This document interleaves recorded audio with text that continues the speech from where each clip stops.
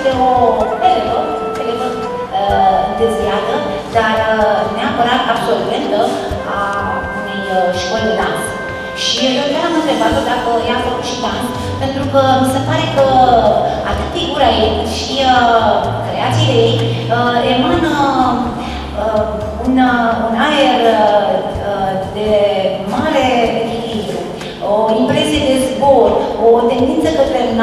care numai uh, copiii care vor să se ridice pe vârful degetelor ca să pară mai mari și uh, să ajungă spre ținta lor, uh, wow! Uh, și noi suntem uh, cu toții niște copii. De foarte multe ori încercăm să ne ridicăm pe vârful uh, degetelor puterilor noastre spre a ne autodepăși. Iar uh, ce se întâmplă aici, uh, această expoziție, cred că este o treaptă uh, de autodepășire pe care o pășește Raluca. Raluca a reușit să mă surprindă, a reușit să mă șocheze, a reușit, dacă vreți, în sensul frumos, să mă bruscheze. De aceea am și spus că este o forță artistică în plină ascensiune. Impresiile mele sunt impresii fierbinți, sunt impresii de tip cu tremur al ființei, privind ceea ce a expus Raluca. Prima, uh, am avut senzația că realitatea începe să vibreze în mod senzitiv de multe ori ne confruntăm cu o realitate hâdă, opacă, o realitate care nu mai comunică nimic. Raluca reușește să facă atât de comunicativă această realitate, încât e o plăcere uh, împinsă până dincolo de ceea ce înțelegem într-o prin plăcere, să privești aceste fotografii. Realitatea Ralucăi nu e numai senzitivă, este o realitate uh, senzuală, dacă vreți. Fata cu chitară electrică este o realitate a tuturor timpurilor. O realitate care trece dincolo de noi, dincolo de anul în care trăim, dincolo de ceea ce reușim să comunicăm, lăsând la o parte simțurile. Cu alte cuvinte, Raluca reușește să treacă dincolo de teren. Ar fi o primă impresie de tip șoc pe care o comunică acum prin cuvinte. 2. Se spune de regulă că prin artă încercăm să evadăm din realitate, încercăm să evadăm din sine. În cazul Ralucăi, fotografia aceasta este o evadare în sine. Pentru că privindu-i lucrările, simți nevoia să discuți cu tine mai mult decât o faci de obicei. Să te întrebi, să afli ce ți s-a întâmplat, să faci proiecții cu privire la viitorul imediat, să începi să discuți cu ceilalți având ca intermediar propria ființă. De aceea spun că este mai degrabă o realitate, o evadare, mă iertați, înăuntru tău, în sinele tău, dacă vreți, decât în afara ta. 3. A treia impresie care pe mine m-a brutalizat, dacă vreți, în sensul frumos. Privindu-i lucrările, m-am gândit că pe undeva sunt în atmosfera începutului, uh, începutului anilor 60, când s-a produs în Europa de Vest Revoluția Sexuală și luați expresia și luați fenomenul așa cum au fost luate în epocă. Oamenii au învățat să fie liberi, au început să fie liberi, au învățat să gândească cu propria minte și să nu se mai rușineze, să nu se mai teamă de propriul trup. Ce vedeți aici militează pentru o revoluție sexuală cu nuanțe profund spirituale. Și patru, privindu-i expoziția, m-a dus cu gândul Raluca, artistul care este Raluca și care va deveni Raluca, la realismul magic din America de Sud, la ce a scris Marcheș, la tot ce se întâmplă acolo fabulos, mitic și peste uh, ceea ce reprezentăm noi ca personalitate. Se întâmplă povești la adăpostul întunericului. Există întotdeauna o nișă de lumină, o dâră de lumină care, uh, eu știu, așează etichetă pe povestea respectivă. Nu rămâi în întuneric la modul absolut. Întotdeauna lumina aceea îți trasează culoarul pe care trebuie să mergi ca să poți afla deznodământul. De aceea, repet, și o venit și pe Raluca, este un artist care dacă uh, se va ocupa sercuicios de, de arta fotografică, dacă va voi să stăruie și dacă va reuși să-și învingă emoțiile, va face carieră, va face artă adevărată și va reuși să ne bucure pe toți.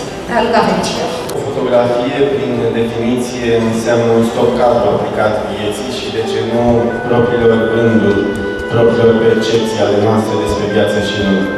Este eternizarea unui clipe, eternizarea unui priviri care pleacă din interiorul nostru către obiecte și se întoarce probabil ca un bumerang Vizualizând aceste fotografii, am văzut câte lucruri poți să faci doar tu, sinele tău și o chitară în fața aparatului fotografic. Diversitatea pozițiilor, expresivitatea corporală și mobilitatea sufletească a unui om care are o chitară. Câte stări psihice, câte stări sufletești se transmit omului ce reușește să empatizeze cu această fotografie. La noi în teatru este o expresie uzitată, a trece rampa.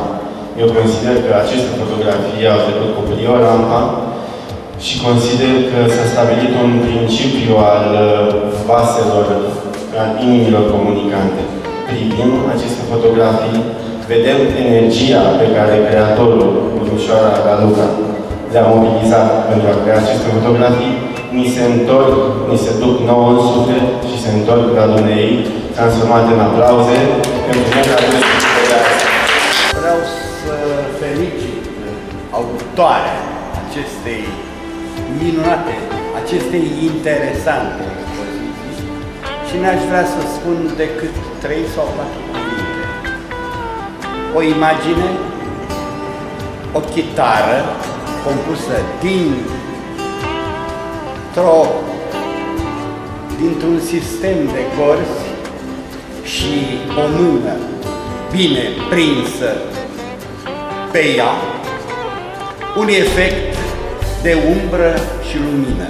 Eu cred că foarte mult autoarea a studiat acest efect de umbră și lumină care într-adevăr impresionează prin pentru început, dacă nu gândim suficient, spunem prin simplitatea acestor lucrări. Dar în aceste lucrări vedem niște lucruri nemaipomenite, niște treburi deosebite, ascunse după umbra ce lasă foarte puțin drum spre o lumină. Lumina care o caracterizează pe autoare. Felicitări! Emoționează locul, auditoriu, mă emoționează special Raluca. O știu de mitică și acum e artist. Extraordinar cum a putut ea să se vadă, să-și imagineze ce va ieși din poz atunci stând cu spatele la aparat. E ceva totuși deosebit. Zic, o fi făcut mai multe încercări ca la, ca la filmări.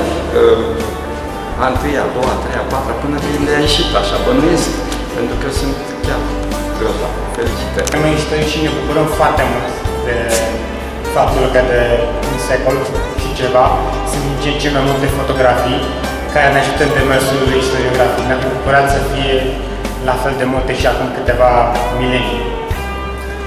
Există, fără doar și poate, o legătură esențială între imagine și text și ea întovărășește societatea umană pe întreaga existență.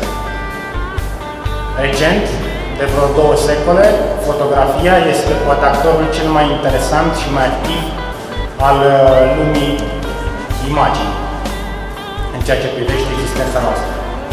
Este deja parte din cotidian, ne asaltează de fiecare dată când desfășurăm activitățile noastre și cred că toți cei care suntem prezenți aici nu putem spune că ne-am obișnuit ușor fără existența ei.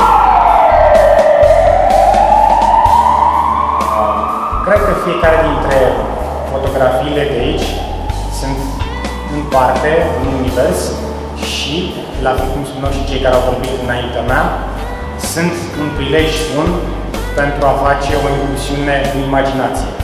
Fiecare dintre ele ne îndeamnă pe fiecare dintre noi să ne să dăm fruct liber imaginației și, de ce nu, să facem un joc dublu. Să încercăm să ne imaginăm persoana care a realizat fotografiile și în măsura în care reușim sau nu, să trecem la o altă direcție pur și simplu să ne imaginăm un alt univers. Că fiecare fotografie în parte este un univers de sine stăvăr. Dincolo de asta, cum știți, lumea culturalului se joacă cu uh, definiții și concepte și de asemenea și diferențieri între poze și fotografii, între fotograful ca artist și fotograful ca meșteșugar. Eu aș felicita-o pe Aluca Georgescu și aș încuraja-o să continue să viseze, să-și imagineze și să expună gândurile, visele și universul din imaginației în fiecare fotografie pe care o realizează. În egală măsură țin să vă mulțumesc că ați ales să petreceți această seară alături de mine. Îmi rămâne doar să motivez oarecumva proiectul meu. Se spune că prima iubire nu se uită niciodată. Pentru mine, gitara a fost prima iubire. Dar chiar dacă nu mai cânt la ea, nu am vrut să o exclud din viața mea și am zis că se va îmbina destul de frumos cu fotografia, a doua iubire. Astfel a rezultat acest proiect. Mie mi se pare că se potrivesc destul de bine. Rămâne și la aprecierea dumneavoastră. Vă mulțumesc foarte mult încă o dată.